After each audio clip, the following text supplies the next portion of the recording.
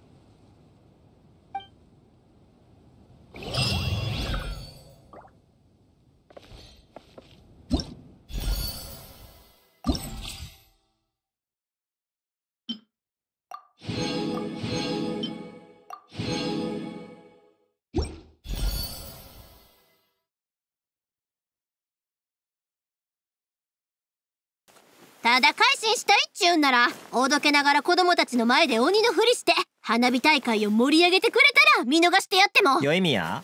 もうとっくに行っちゃったよ。